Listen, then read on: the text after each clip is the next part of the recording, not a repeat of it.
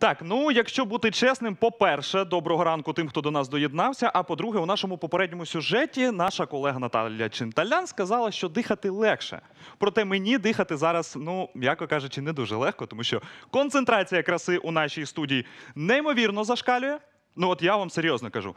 На мою думку, і я впевнений на думку адекватних і нормальних чоловіків, таким дівчатам потрібно прижиттєво ставити пам'ятник. У нас сьогодні у гостях Міла Маланчук, блогер. Доброго Доброго ранку. ранку. Привіт. доброго ранку. Так, ну ми сьогодні будемо е, підіймати важливу тему. Серйозно Е, тему. Ну, Соціальну. максимально серйозно. Так. соціальну. Е, Я, якщо чесно, я навіть не розумію, як таке можливо. Ти була на дев'ятому місяці Ні, вагітності. ні, я була на дев'ятому тижні вагітності. А, на дев'ятому, вибач, на дев'ятому тижні вагітності і Мій е, колишній чоловік, ну ми жили в цивільному шлюбі, е, сказав, що він перехотів дитину, і за два дні мене виставили просто на вулицю. Як таке можливо, я не поясню, бо я, чесно кажучи, от вже пройшло три роки.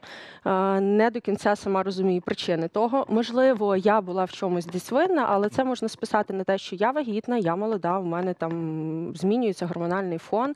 Е, Тим паче, в нас наче стосунки були хороші. Але як би там не було, е, те, що він е, там перехотів бути зі мною, ну таке можливо, це нормально. Але те, що він відмовився від дитини, це вже зовсім інша історія. Бо... Тобто він по сьогоднішній день не проявляє ніякого. Ні, взагалі. От я буквально місяць тому подала в суд на встановлення батьківства, на аліменти, і от лише вчора нам назначили дату першого засідання. Тобто за три роки людина жодного разу не з'явилася. е, нас жодного не було з ним е, якогось конструктивного діалогу.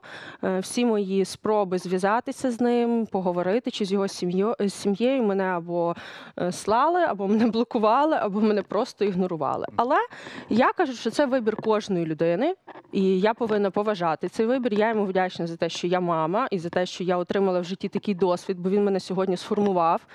І е, це така школа життя, яка тебе заколює, яка робить тебе дуже сильною.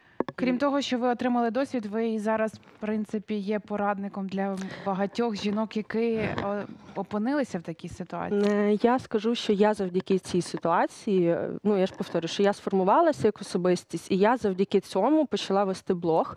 Бо як сталося, що я на той момент жила в Києві, і я вимушена була повернутися до батьків Кам'янець-Подільський, це маленьке місто. У нас населення 100 тисяч. Мене в місті багато знає людей. Ну і ви розумієте, я повертаюся на третьому місці вагітності. Починається дуже багато пліток, різних розмов.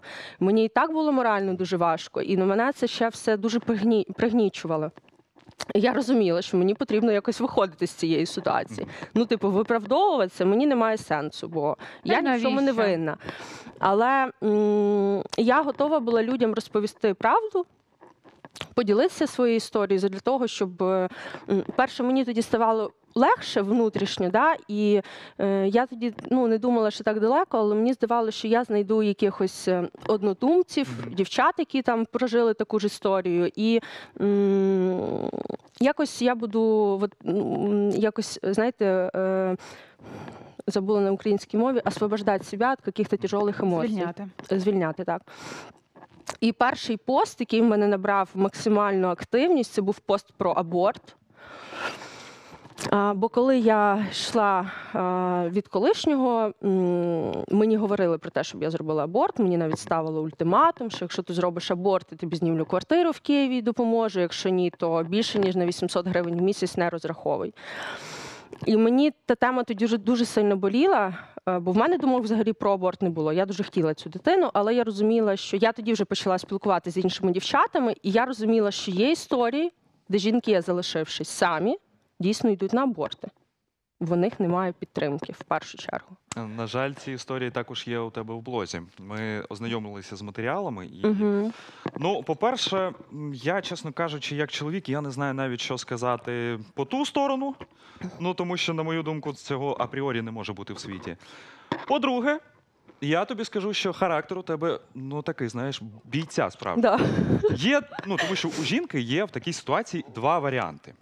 Зараз розумієш, до чого я. Перший варіант це або аборт, або просто здатися. А другий варіант це жити і радіти життю. Так, розказую про взаємовідносини з сином.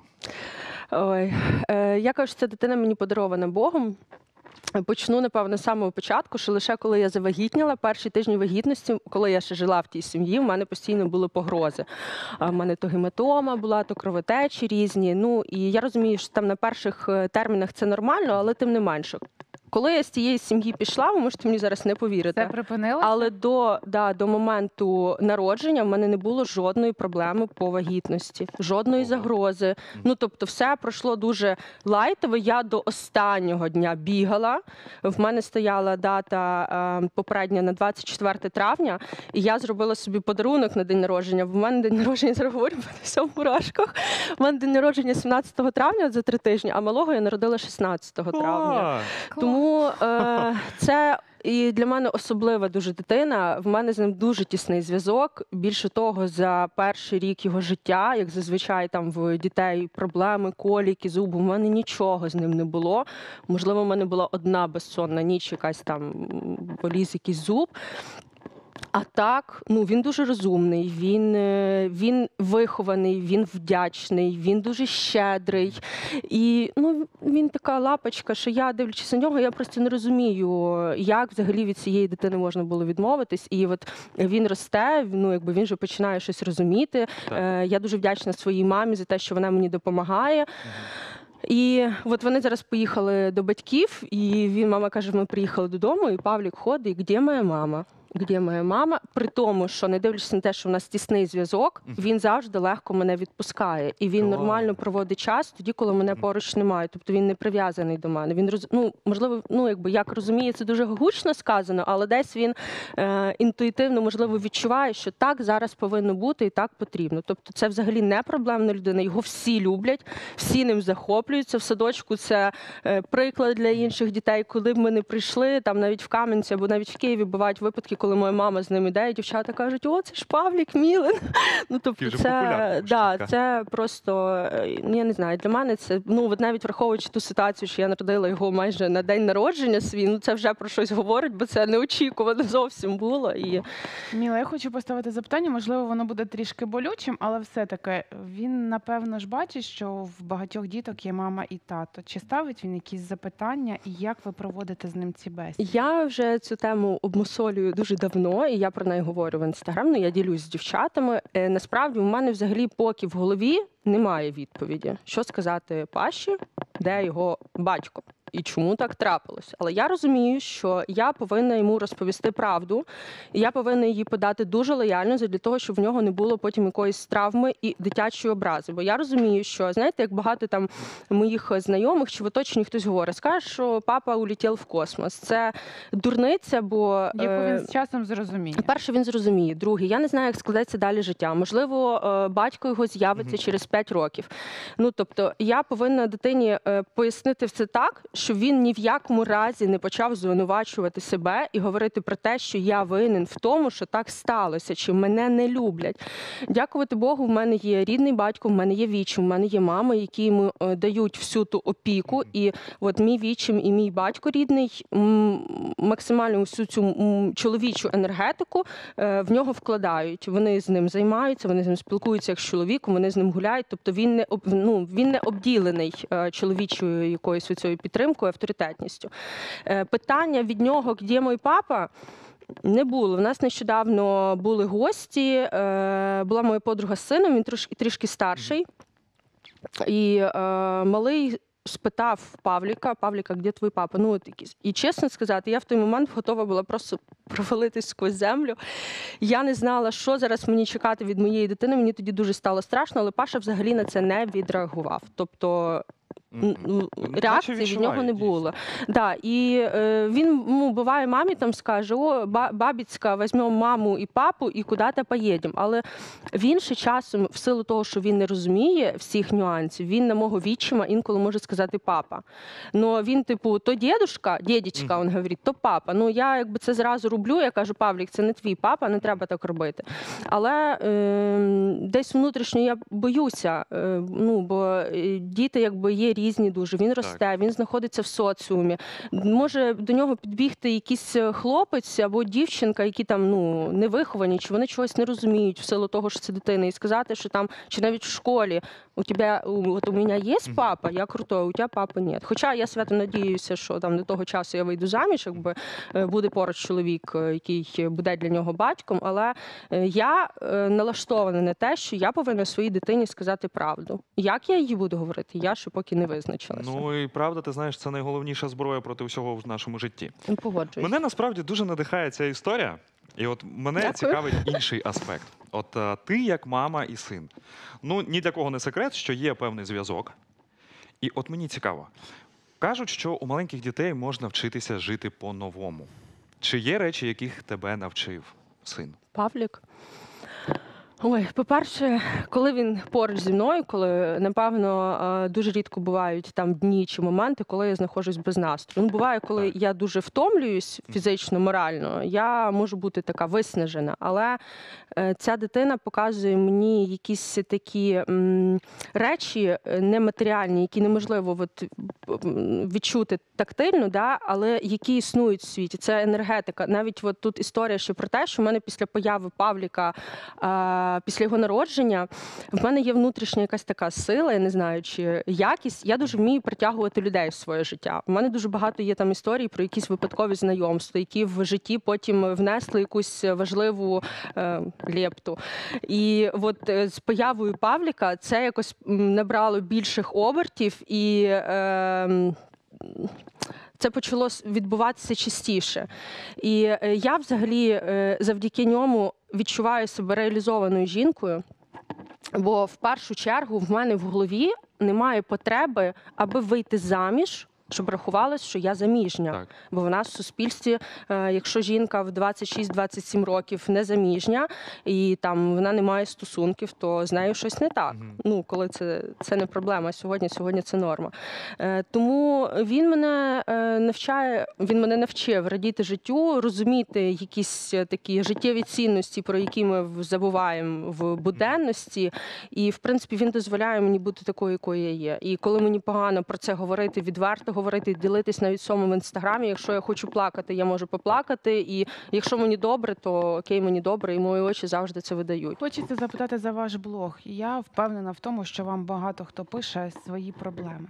Да. Як ви це через себе пропускаєте, і чи реально е, можливо вже з часом напрацювали якісь зв'язки і можете допомагати тим, хто цього дійсно потребує? Почну з того, що в мене є е, мрія, і я поки не маю для цього ресурсу, напевно, і дуже хочу створити фонд е, для підтримки жінок. е, Які залишаються от в таких випадках, бо в нас всюди говорять про насилля. Я буквально вчора сиділа, читала різні е, форми в інстаграмі. ем, Сторінки, які розповідають, ну ем, висвітлюють проблеми там, де дітей викрадають. Чесно, не спала півночі. Настільки я це все внутрішньо переживаю, бо маю досвід з дитинства, коли мене викрав батько. І скажу, що в мене зараз, як я говорю, є дві підопічних в інстаграмі, дві дівчинки, з якими я тісно спілкуюсь. Одна от на сьомому місці вагітності. Я з нею нещодавно познайомилася. Вона пішла від чоловіка, бо він її бив. І одна дівчинка там дитині буквально декілька місяців. е, Колишній від неї пішов. Він її лишив, і от нещодавно вона мені писала, чи е, ледь не в сльозах, що вона його зустріла в місті з іншою. Я насправді, можливо, комусь сьогодні вже здаюсь жорстокою, е, грубою, різкою, бо я це все пережила, і я знаю, що це реально пережити, і в цьому нічого страшного немає. Тобто, це не кінець життя. Е, Кожна жінка повинна вміти. Цю ситуацію використати для себе як ключ до якогось успіху, до якихось дверей, які відкриються. Але знову ж таки, тут все дуже взаємопов'язано і. Все дуже глибоко зарито в сенсі того, що тут повинна бути ціла картина. Тут повинна бути підтримка близьких, е, друзів, батьків в першу чергу, найосновніше. Тут повинна жінка повинна вміти е, давати собі можливість пережити всі ці емоції, е, дозволити собі побути в цьому Ну і тут є ключик, діти. Да. І от знаєте, найосновніше, ви дуже вірно підмітили, е, коли сталася ця історія, мені е, Сережа сказав про те, щоб я робила аборт, я познала до гінекологша, в якої я стояла тут на обліку, я в сльозах це все розповідаю, я потім до неї приїхала, і вона мені говорить, Міла, каже, в в мене каже, е, в кабінеті щодня приходить сотні жінок, які взагалі не мають можливості бути мамою. Тому я кажу, що жінка в першу чергу повинна бути вдячною чоловіку за те, що він дав їй цю можливість. Е, знаєте, це дуже можливо там банальна чи е, гучна е, фраза про те, що дал Бог ребенка, дасть на ребенка. Зараз, слава Богу, в можливість е, 21-го року чи там 20-го, 21-го століття, коли е, соцмережі, інтернет набирає дуже великих обертів, є можливість працювати онлайн, є можливість працювати вдома. Тим паче зараз карантин нас всіх закрив вдома. Е, Ну, тобто, повертаючись до жінок, е, історій, я трошки пішла не в не в ту степ, історій дуже багато. І дуже страшних історій багато. У мене є е, подруга, яка зробила аборт. І в неї було ну, після того дуже багато проблем зі здоров'ям. І найстрашніше е, наслідок аборту це безпліддя. А жодна з жінок не може е, наперед знати, як, воно пройде і як складеться. чим воно закінчиться. Я, якщо навіть це буде не безпліддя, то ну по гінекології може проблем, з'явитися так, купа знак. проблем. Це гар- ну, тобто ти порушуєш вже якісь е, Процеси, які да, запущені. процеси. Перше, друге, це дуже великий гріх. Ну давайте не будемо забувати про те, що все ж таки є якісь вищі сили, і це все також контролюється, і воно все Мгм. повертається. Так. Бо навіть залишити там вагітну жінку чи відмовитись від дитини, це А також ж гріх. Да, тому Е, хочеться, знаєш, от. м, Ну, м'яко кажучи, мурашки по шкірі йдуть. Ну, сильна жінка. Ну тут без варіантів. дякую. Е, давай на завершення. От найголовніше, що ти можеш сказати на всю Україну жінкам, які опинилися у, крут- у скрутному становищі. М, не винити себе, не опускати ні в якому разі руки, не забувати про те, що дитина це щастя, це гордість, і це вже реалізованість тебе як жінки. Просити допомоги. Не соромитися, е, говорити про свою історію відверто, е, чим поскоріше вийти з ролі жертви, Так. Е, і вміти, напевно, з цього досвіду е, виносити позитивні моменти. І ну просто приймати це і бути за це найголовніше це бути за, е, за всю там ту ситуацію чи той досвід, який ви прожили чи пройшли, просто бути вдячним. А ми вдячні вам за ефір, що І ви надихаєте, мотивуєте. І всі жінки звертаюсь до вас, будьте сильними і не покладайте е, надію на когось завжди. Все заключається в вас, і наші дітки це наше все, це наше щастя.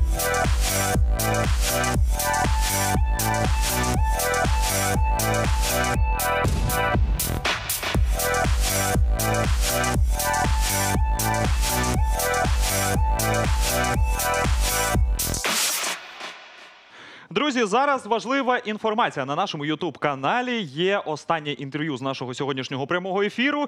І виявляється, ми не знали, де знаходяться у Алли Метлашевської ребра. Щоб побачити, підписуйтесь на канал. Дивіться сьогоднішні повтори. А я вам додам, що натискайте дзвіночок, і він вам сповістить про те відео, про яке сказав Максим. We'll